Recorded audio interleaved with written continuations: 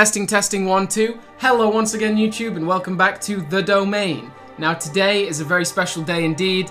Halo Infinite gameplay dropped for the first time last week. And I did a breakdown video where I talked about my initial thoughts and watched it live. It's a different direction for my channel. It's certainly the kind of creative direction I want to take it. And today I'm going to make a follow-up to that video, a more in-depth analysis and discussion about all things Halo. But I can't do it on my own. Today I'm joined by Jonathan. Say hello.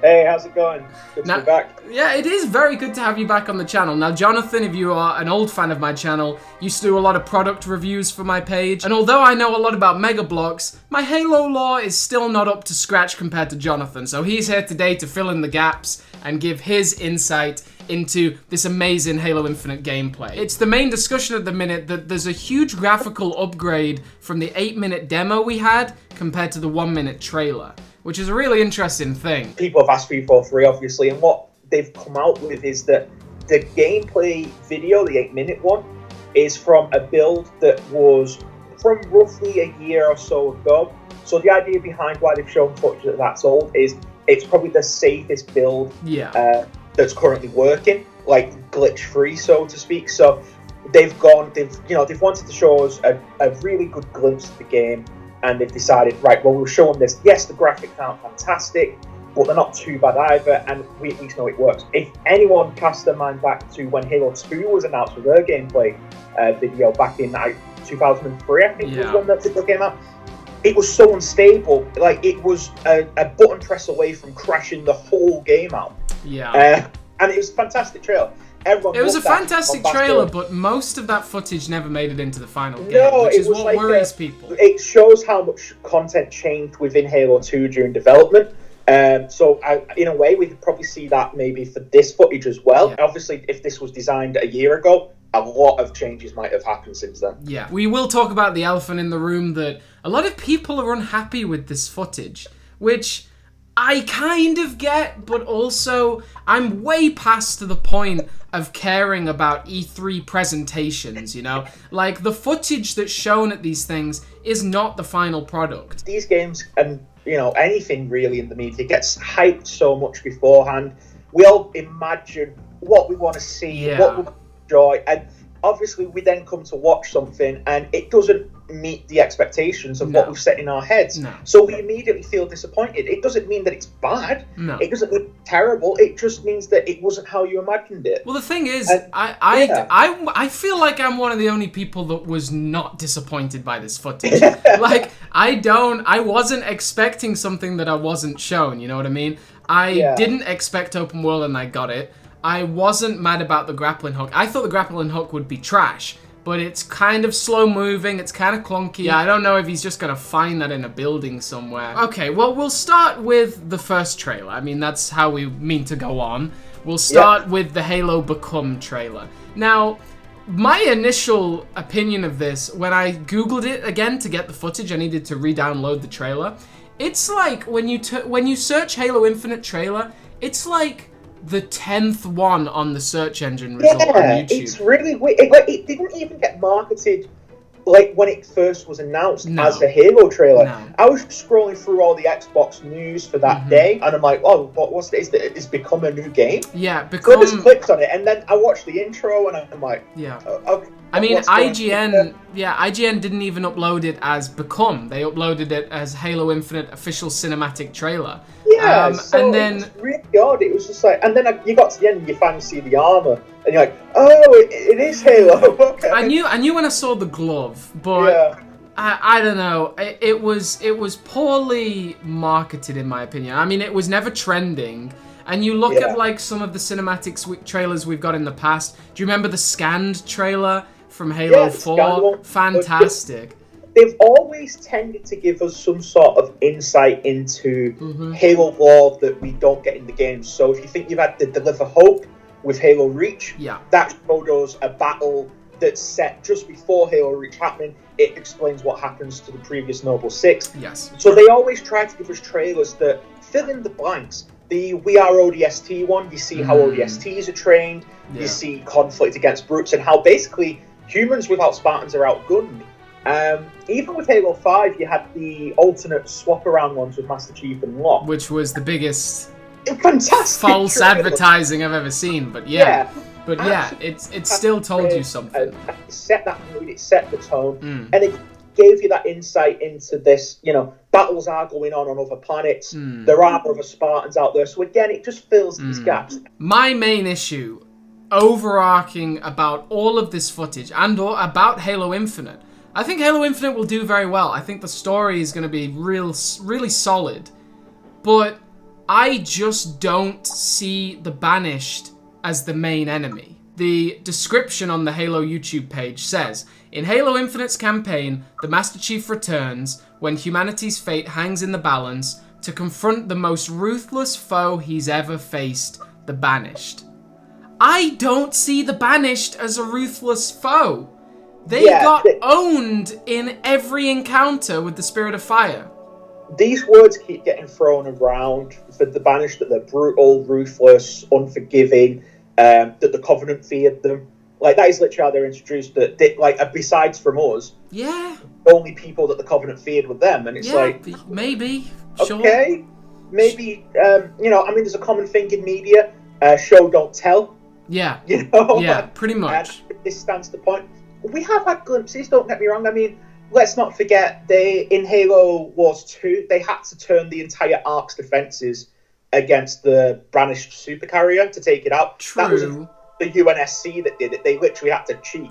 True, but they did it though. But they, but they did it though. It was only Yeah. one carrier, and I like I didn't understand, and it was an issue I had with Halo Wars 2. I didn't understand the size of the Banished at any point because it showed them as massive armies. I think it's very funny in the Halo franchise when there was a religious order so large that it threatened the destruction of every known entity in the galaxy, and you're gonna call the Banished the most ruthless foe he's ever faced. The prophets wanted to wipe out all life ever, and you're calling the Banished ruthless. May not have been as big as we expect.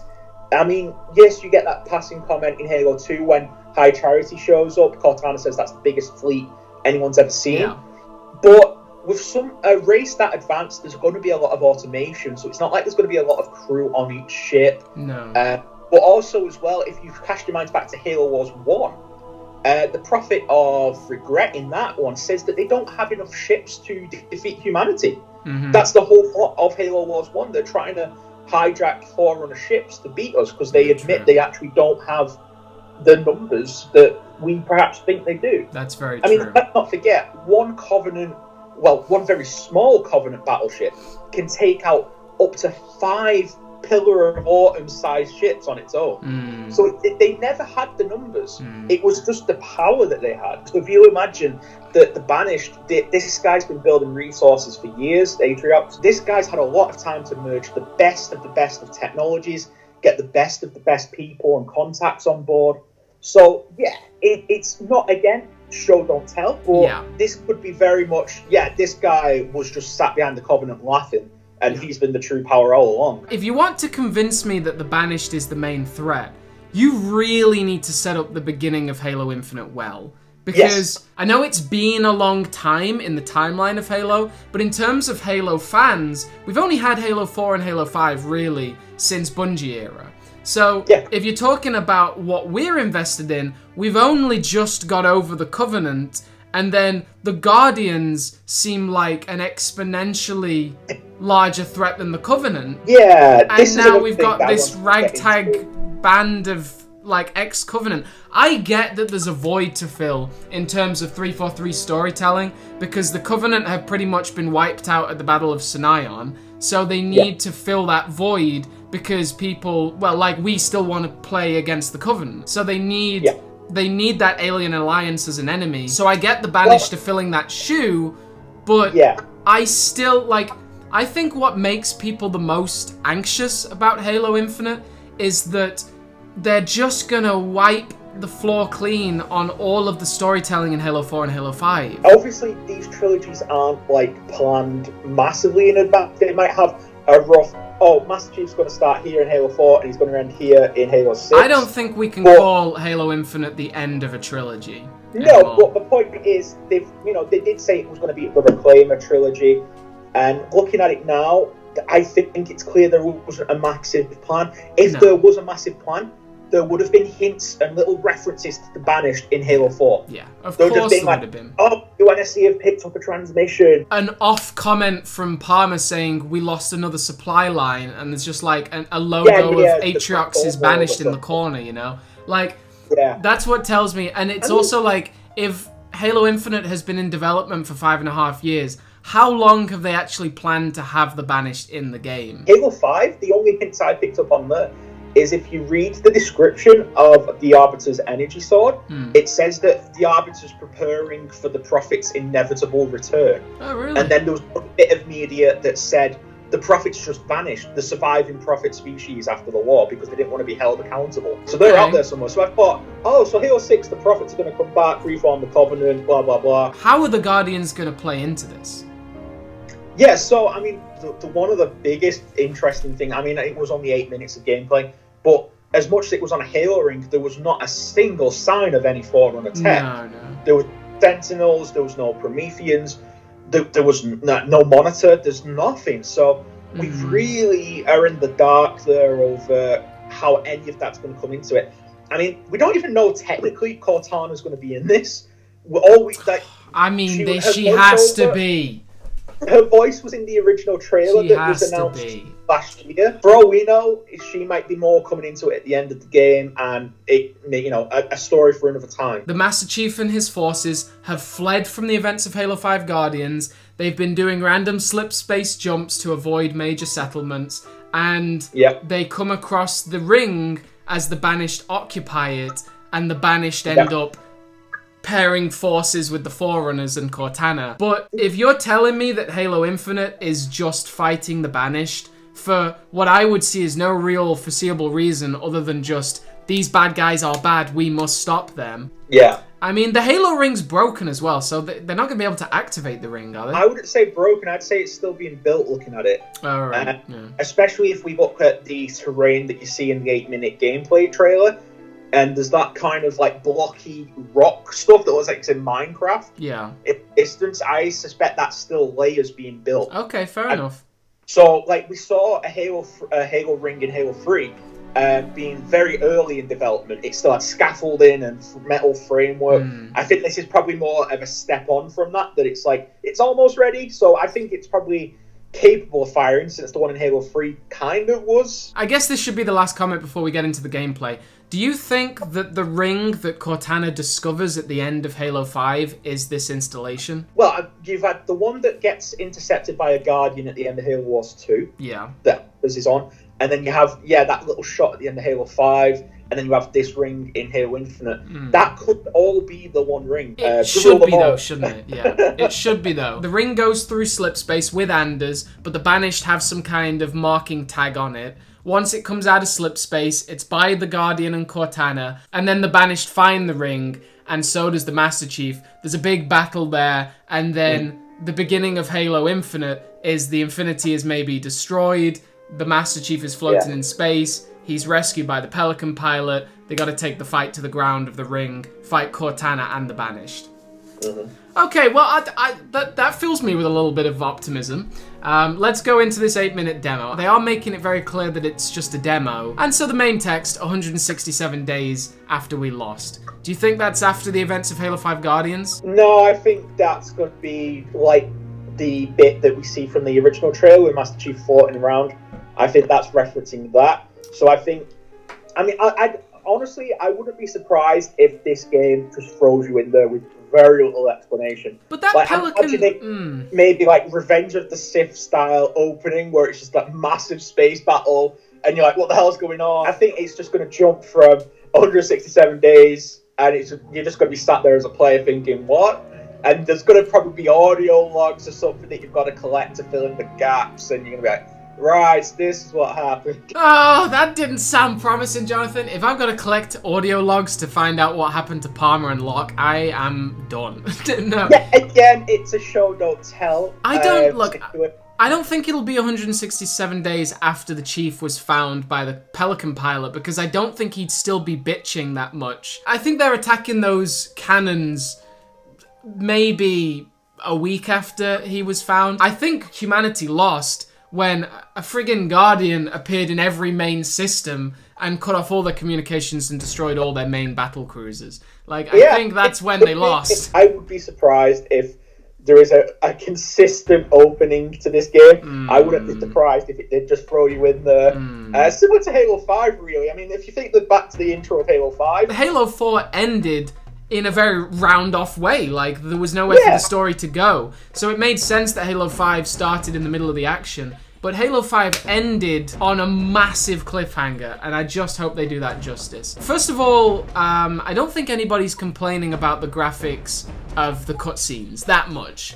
A few people have compared them to other games, but like, I yeah. think I think you're out of your mind if you're on Twitter and you're comparing a picture of the Pelican pilot to a picture of Carter from Halo Reach. You're out of your mind because it's not a finished game and it looks phenomenal. I think all of these cutscenes look better than Bungie games. Halo 3 anything that looks better than Halo 3 Humans. Yeah. Uh, because they've really dropped the ball on Halo 3 Humans. Halo 3 is a fantastic game, but I remember firing that game up back in September 2007. Miranda Keyes is. Oh my god, what have they done to Johnson? He yeah. looks terrible. The Chief needed a new friend. That's I think that's what was so sort of like separated about Halo 4 and Halo 5. There was no dynamic with a human at all. Yeah, like build it with Lasky, but obviously because he's a captain, he can't be there all the nah, time. Not really. Which is where like Johnson came in. Johnson was a you know boots on the ground Marine. Mm-hmm. He'd been through all the conflicts. He, you know, I mean, he was a Spartan one himself, even. Yeah.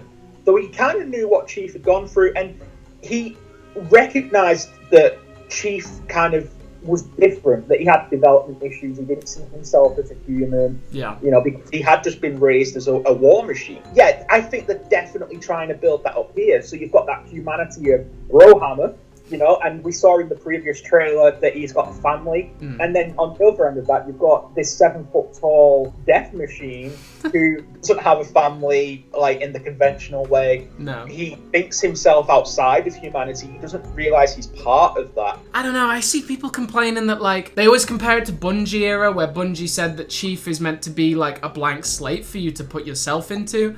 Yeah. After this many games, like after this many games, I want to know what he's thinking. You know. If you like that, that's fine. But honestly, I, I want to be a character. Yeah, exactly. I don't play a video game thinking, "Oh, this is me," but 500 years in the time where I never had a family, was kidnapped as a child. No. No. no, no, no I'd rather have this built-up character so I can actually, exactly. you know, respect him and exactly. understand it. Right. So we've delved into the psyche of the Master Chief. Let's look at some of this gameplay. Overall, 9 out of 10 for me. Like, I'm going to defend this yeah, gameplay a lot.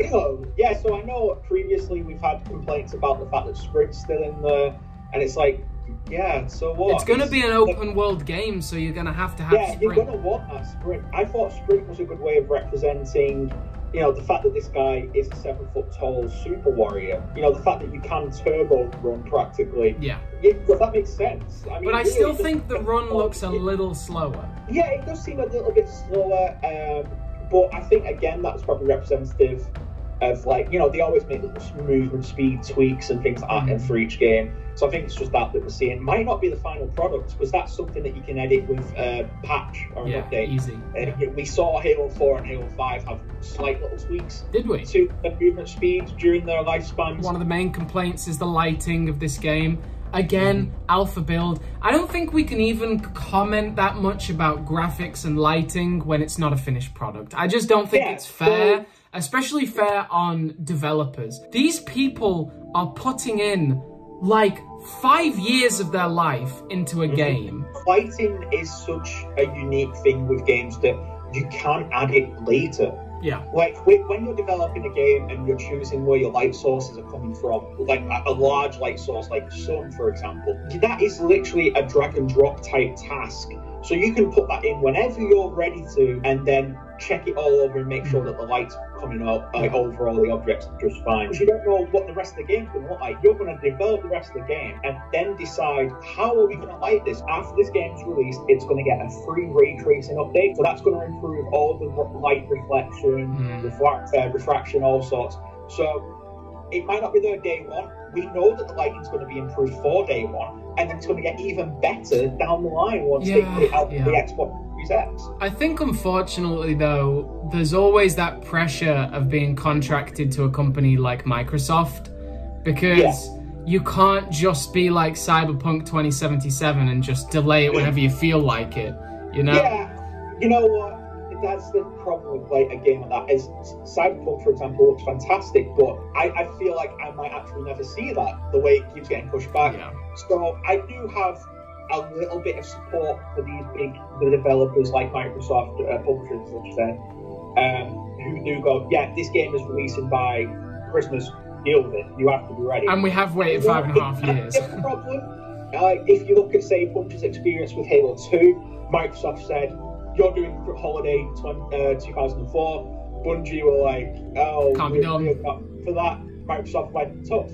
And, you know, I, I don't think Bungie were happy with that, and it's probably what contributed to them becoming an independent developer again, them wanting to leave. Yeah. And fine, that's your choice, but at the end of the day, there's consoles to sell, there's merchandise to sell. I mean, it'd be a, as much as this game might look a bit rough, it is an early build.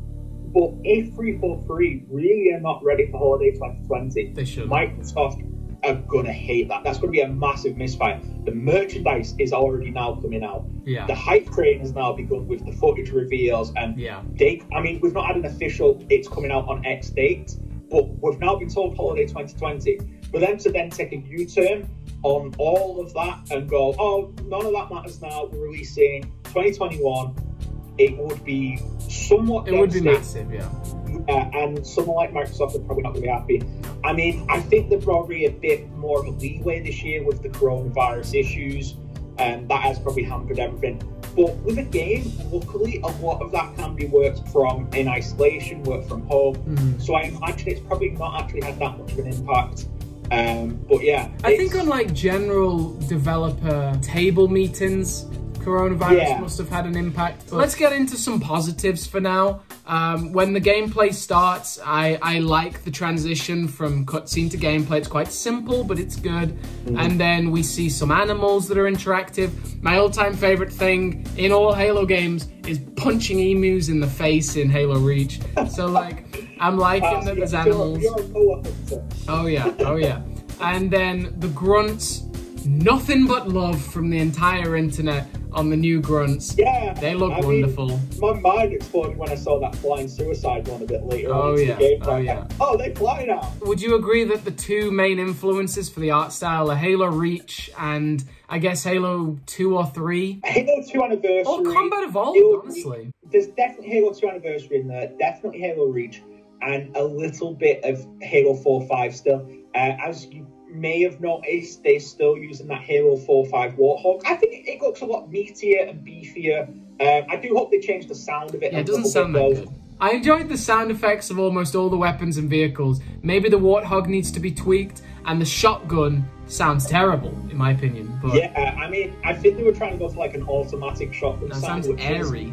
It, it, it, yeah, it isn't as deep as a like a normal kind of pump action shotgun. Yeah. My personal feelings are, I think the sounds need to literally be turned up a little bit. hmm I felt they were a little bit subdued. These might not even be the weapon sounds that are set in for the game Yeah. come release.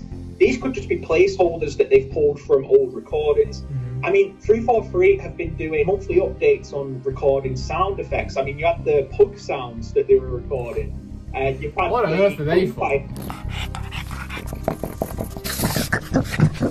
The explosive sounds that they've been recording. So, you know, if they want to, they could really dial it up to 11. And then we see him open the TAC map for the first time. Yeah. Fantastic. I love it. I love it. Um, and Yeah, it so that's like taking a page out of Halo 3 ODST. You can actually see if there's an upgrades tab. Now, he never cycles to it, but we could be looking at maybe, you know, adding adding silencers to guns, maybe things like that. That could be interesting. the, upgrades makes me nervous. I no, I think it could be good. I mean, if you imagine you could play with it being open world exactly how you want it. If you wanted to be a stealthy Master Chief, you know, you pop on that silencer, get your grappling hook, Do you climb up think- the mountain, and just snipe the hell out of everything. Do you think it'll be upgrades to the weapons? I think it'll be upgrades to the Master Chief, and that just it's It what makes me worried. be- It might be upgrades to the Master Chief. If it is, I think it by upgrades it actually means equipment. So you can cycle between grapple hook, Mm. the new shield projector that you see. I don't think we're talking, you know, upgrade Master Chief's strength to level. I 10. don't know. I could see that like he's been commissioned some new armor, and I could see that like he's got like slowly you'll get an upgrade for the ground pound and the slam thruster and like all Well- those things that I think need to be left behind. I don't know. If that is added, um, I mean, compare it to another Microsoft Studios game, Gears 5, that added an upgrade system to its open world. Uh, who you could upgrade the Jackbot, that was basically the support robot for Mm. the team. At first, it seems odd to add an upgrade system to a shooter, but that really changed how the gameplay worked, and for the better. yeah. Team support. It could pick up weapons for you and recover them. It could help you with teammates. It could, you know. So as much as it's yes, it is changing the core gameplay. This could be revolutionary, really. He drives the warthog through some enemies. The I love the sort of splash plasma effect of the grenades that the grunt has, and Yeah. then he jumps straight out and he's pistoling some bad guys. This pistol, um, Yeah, the, the new sidekick pistol. Chief's a straight up gangster now. You can even see that by comparison because they have actually done this weapon for the Mega Bloks line. Yeah. Everyone just went, "Wait, is that a Call of Duty pistol?" Yeah, let's not like, play around with this. That gun that he picks up, that like automatic, Oh, no, it's a Call like- of Duty gun. I don't care. That is my new go-to weapon. I think. Yeah, it looks fantastic. DMR. It's got the damage and range of the DMR. It's got the scope for the DMR. Yeah. But it's got that sort of suppressing capability of Yeah. the sword. That's what Halo Five introduced. Like a ton of Yeah. vehicle and weapon variants. And I And loved it. that It's carried on. I think Mhm. that is one of the best bits of Halo Five multiplayer. If I could go up into these towers and I could find like a legendary energy sword, I love it. I love it. that is one of the things that annoyed me about the like original Halo trilogy is how he each game suddenly forgot about the last game's weapons and Mhm. vehicles. hmm It was like, oh yeah, the Shadow, we forgot about that, and oh no, the Spectre doesn't exist anymore. Yeah. That, that's just in Halo Two. Where But were the brutes go- in Halo Reach? I mean, it's, Yeah, it's all like, higgledy piggledy. And the thing is, because these games are only set a month apart from one another, it was just really odd to think, oh, so suddenly all the plasma rifles are SMGs. Just got dis, dis, uh, discommissioned, yeah. It would make sense if installation, whatever this is, originally was occupied by UNSC hired militia. And Yeah. there are just guns everywhere.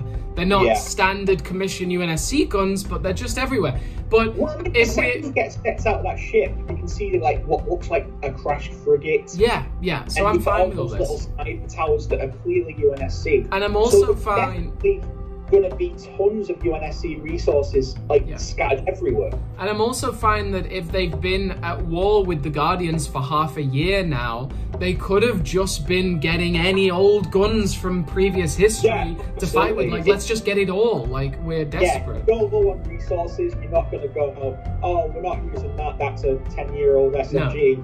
No, you're going to use it. Whatever hurts works. You're going to it. so let's keep on talking about positives here. The drop pod brutes, phenomenal. Love it.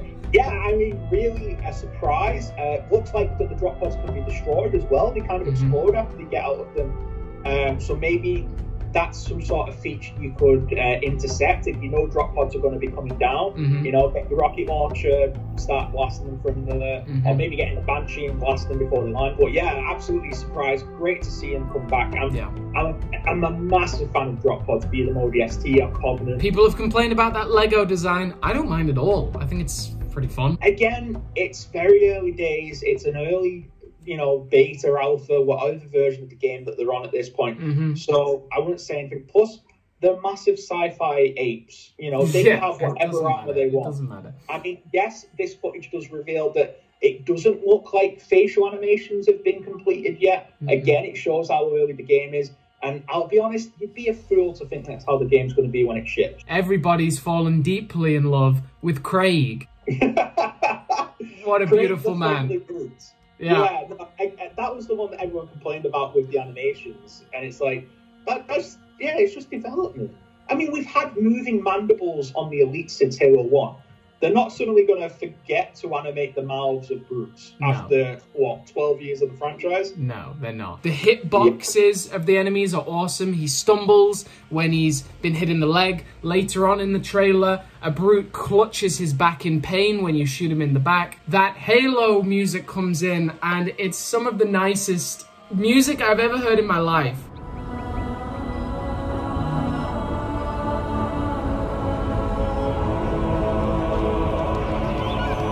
We're gonna rattle through some more positives. The render distance of these mountains, I don't think is an issue right now. If you have gone from the floor to the top of a base, I don't mind if the mountains need 0.1 seconds to render. I don't mind that.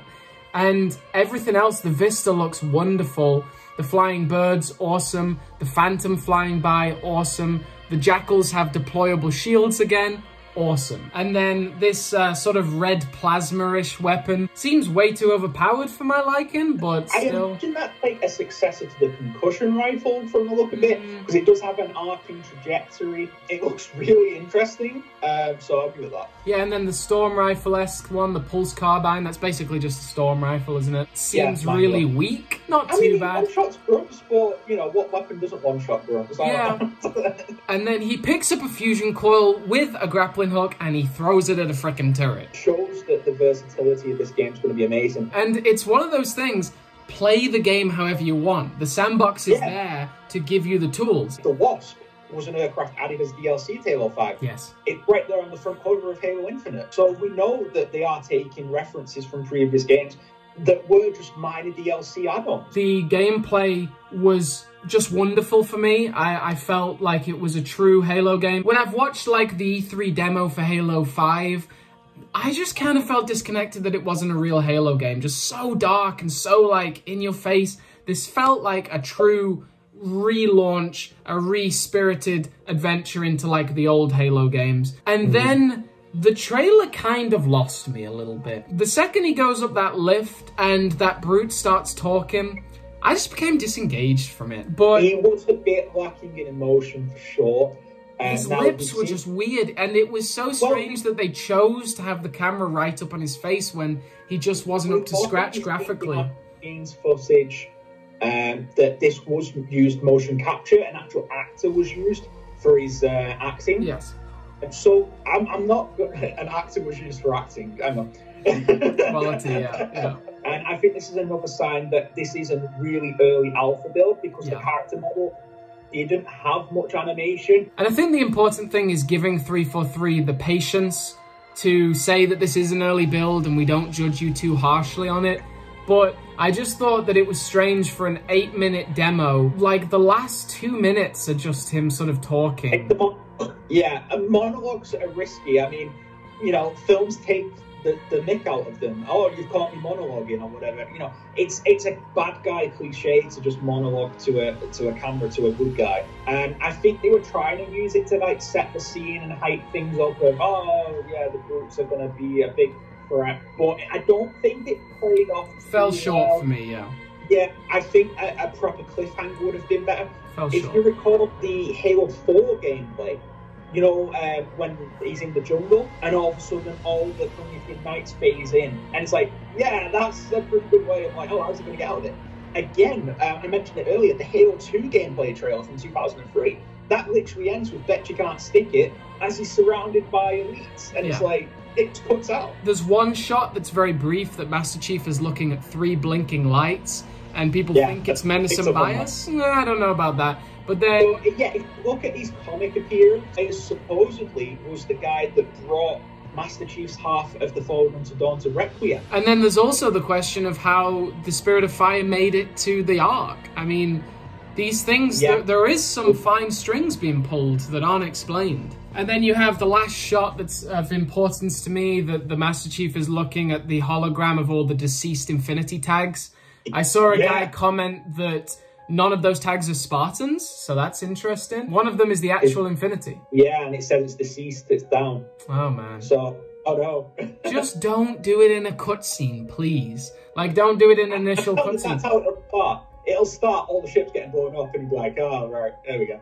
I mean, I guess I guess it's not that bad because the Infinity seemed like it was doomed after Halo 5 anyway. It's not the worst thing. Just please don't kill Osiris, team, and uh, Locke off screen. I can't be bothered with that. Don't mm -hmm. build these characters up and then kill them in the next game because they don't fit the current narrative. Other than that, Jonathan, um, I think the gameplay shows a lot of promise for the future. I'm like 95% happy. I'm going to be a little anxious that this doesn't all get sorted out and combed through before launch. I really hope that these technical issues are a thing of the past once this game launches. Well, look, you've got a team. We don't know how big 343 is. It's not really published. You know, they have a sizable team. They have all the resources of Microsoft behind them. Halo is the flagship title. Yeah. Xbox, Microsoft, they still say that. They still say it's the flagship title. Oh, it is. It is icon. It's our equivalent to Star Wars, our, our equivalent to you know, the MCU type thing. They're not going to let this go down badly. Let's not forget, these